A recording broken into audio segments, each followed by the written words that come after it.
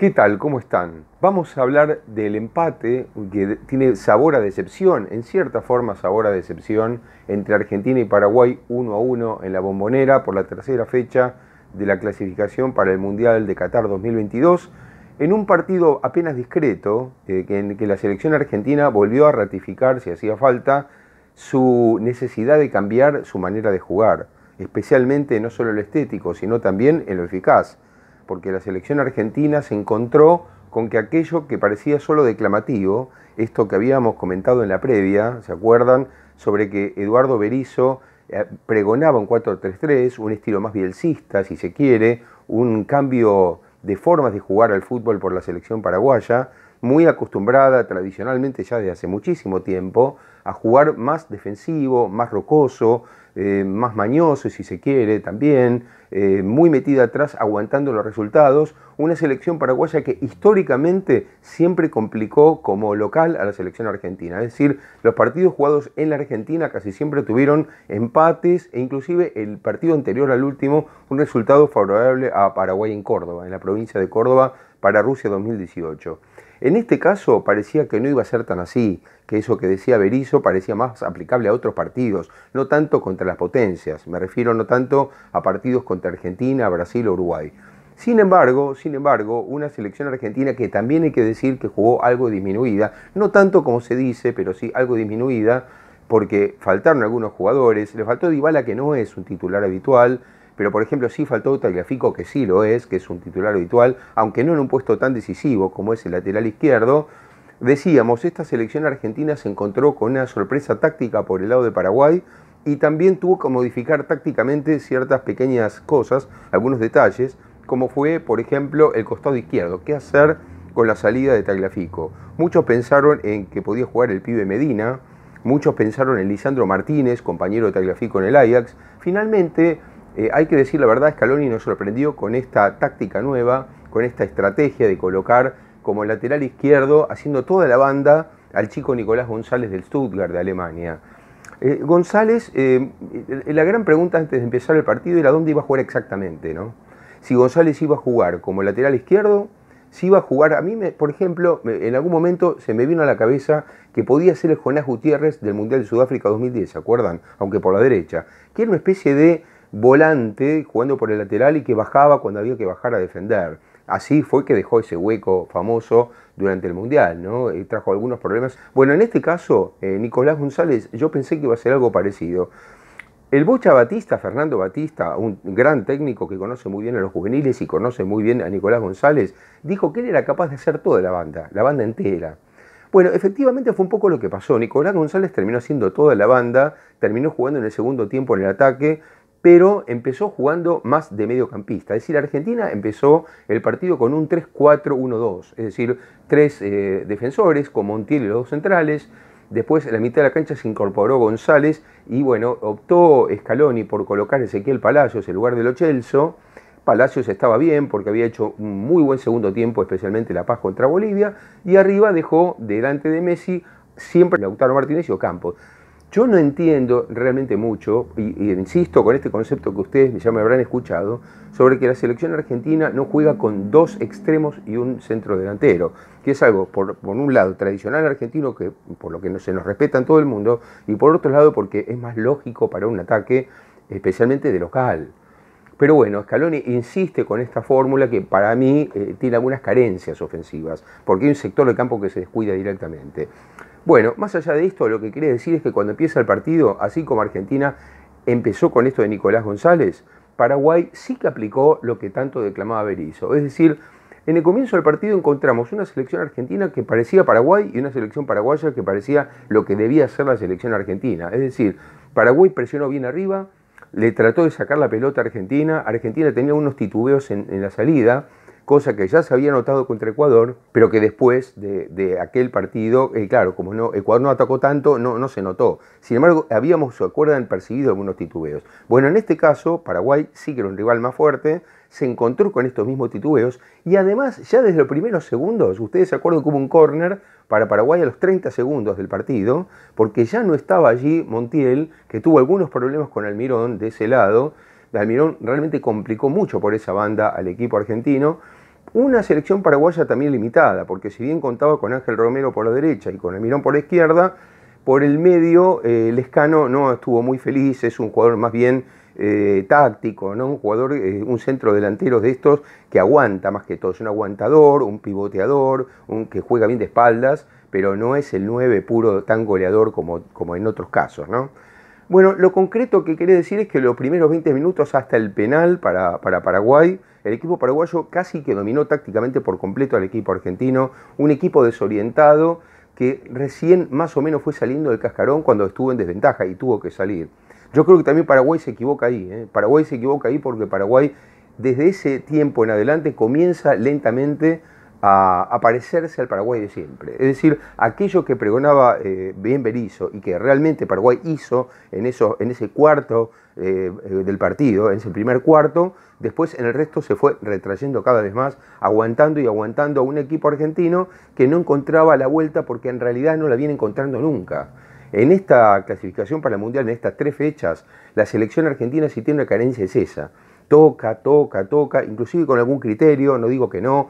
Está bien lo de Paredes como primer pase, como un 5, distinto a lo que fue toda la vida, porque Argentina ahora no tiene, más allá de Escasíbar, otro 5 como tenía en la época de Macherano. Entonces Paredes hace esa función del primer pase, pero después entra en especie de desesperación por no eh, eh, conseguir un hueco exacto por donde entrar, y menos cuando una defensa se cierra, como fue el caso de Paraguay. No encontraba, no encontraba eh, otra cosa que hay que decir es que hubo algunas situaciones confusas en el partido por un arbitraje bastante malo de Rafael Klaus, un joven árbitro brasileño.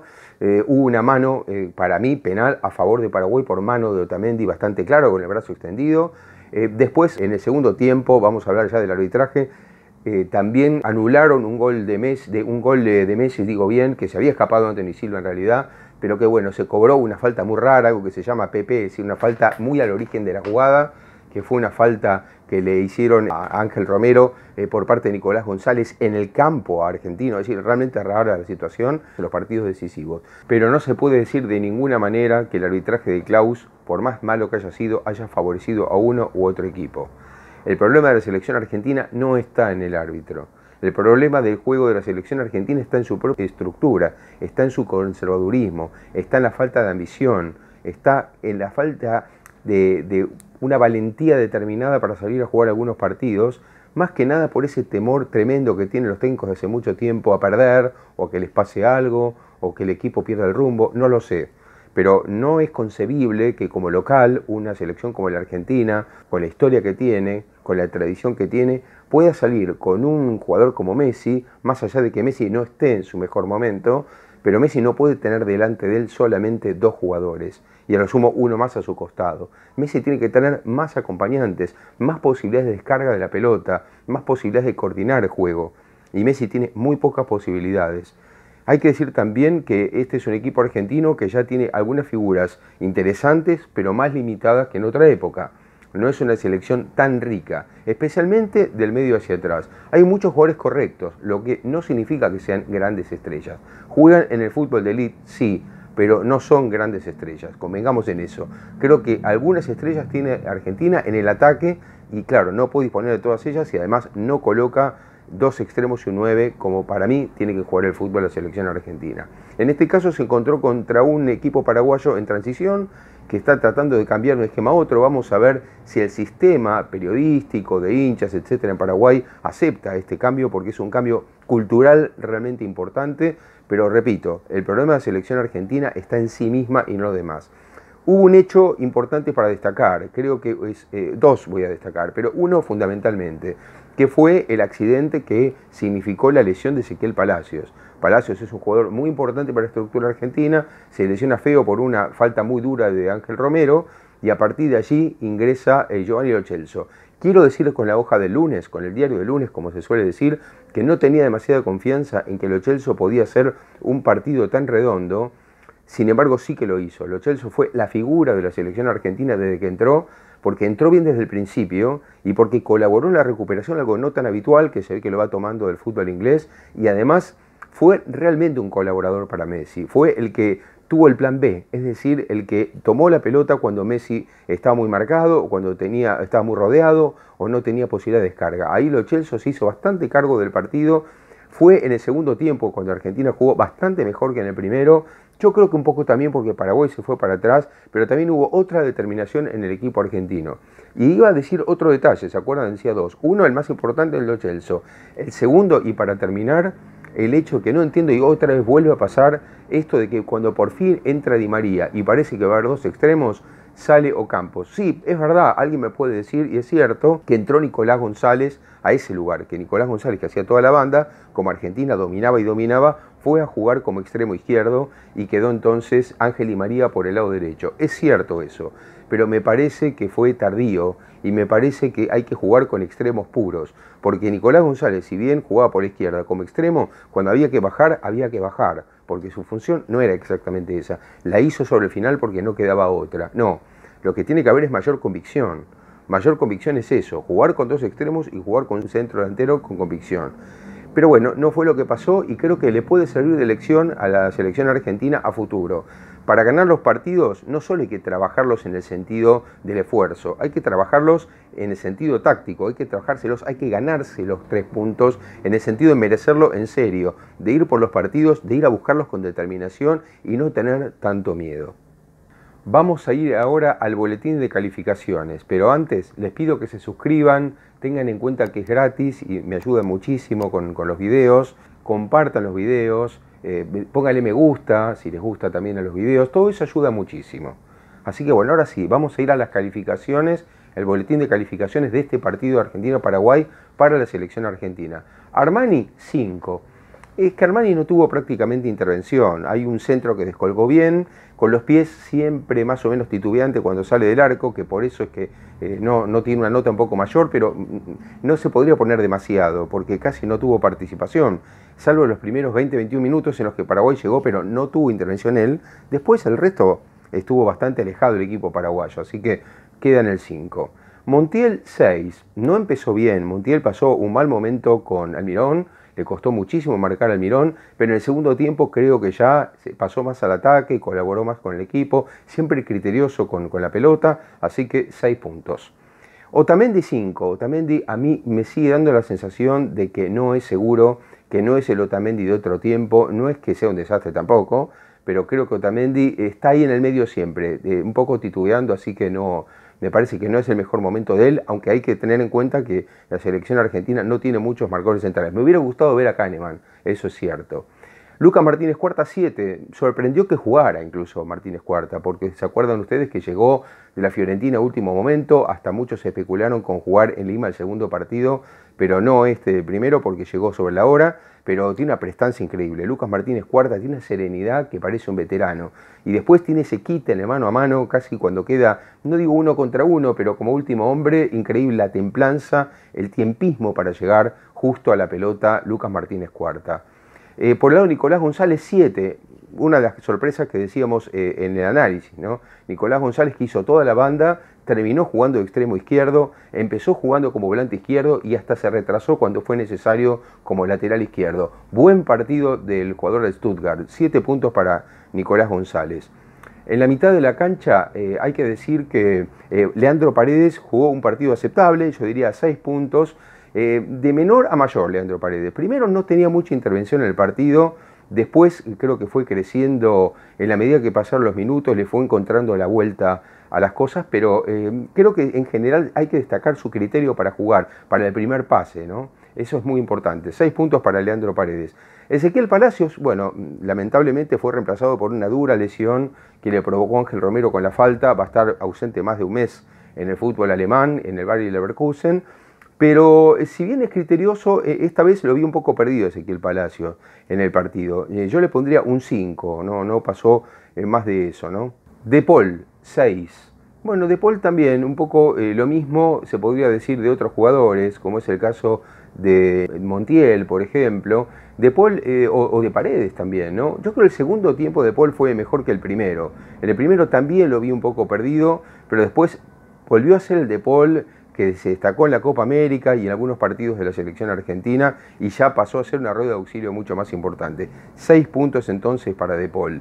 Messi 6 también. Messi no terminó de redondear un buen partido, más allá de que tuvo alguna situación eh, por ejemplo, esa pelota parada que alcanzó a tocar Silva pegó en el travesaño, alguna que otra jugada que pudo combinar con sus compañeros, pero en general estuvo muy rodeado por la defensa paraguaya y no es el Messi de otro tipo tampoco. Yo creo que juega en contra de él este, esta discontinuidad en el Barcelona, ¿no? estos rendimientos dispares, que tuvo algún partido bueno, pero en general no viene teniendo un gran 2020. Eh, así que seis puntos para Messi. Después voy a agregar a Lo Celso, que si bien entró de suplente, eh, jugó muchos minutos, así que como entró por Ezequiel Palacios, a Lo Celso le pongo un 7. Lo Celso, para mí, más allá del 7, fue el mejor jugador argentino, lo quiero destacar, jugó 7 puntos. Hasta podría redondear eh, cerca del 8, pero vamos a dejarlo en 7 puntos porque creo que Lo Celso todavía puede dar mucho más. Después directamente vamos a Lautaro Martínez, esta vez un 6 para Lautaro Martínez. Más que nada este 6 es porque se lo ganó con el esfuerzo de dos o tres pelotas que guapeó, que peleó en el final. Pero Lautaro Martínez tuvo el problema en este partido que casi nunca encontró la facilidad para poder convertir, porque siempre estuvo bien marcado, bien rodeado por una buena defensa paraguaya de jugadores muy experimentados. Hay que tener en cuenta que Paraguay jugó con cuatro centrales, más allá de que dos de ellos jugaron como laterales, ¿no? El caso de Robert Rojas y el caso de Junior Alonso. Fue bastante difícil para Lautaro Martínez pasar esa valla y sin embargo se las arregló como pudo, peleó, guapeó, aunque claro, eh, no fue Lautaro Martínez del Inter porque tiene menos eh, interlocutores, eh, menos posibilidad de descarga, eso también es muy importante tenerlo en cuenta. Así que bueno, finalmente vamos a terminar con Ocampos. Ocampos jugó para 5 puntos, nada más que 5. Hizo un par de jugadas que encaró por la izquierda al principio, pero después me parece que tampoco pudo lucir. Eh, también se encontró con el mismo problema, ¿no? la falta de, compañeros en el ataque y muy bien marcado, muy bien rodeado por la defensa paraguaya. Entró Di María después, en el segundo tiempo, Di María 6, eh, trató de abrir la cancha, trató en lo posible de jugar eh, buscó siempre a Messi, buscó por, la zona de la Montiel, pero bueno, también tuvo pocos minutos y ya estaba muy cerrado de la selección paraguaya, así que fue muy complicado para Di María. Bueno, me despido hasta la próxima diciéndoles que si quieren conseguir mis libros, vamos a dejar el email para que se contacten conmigo.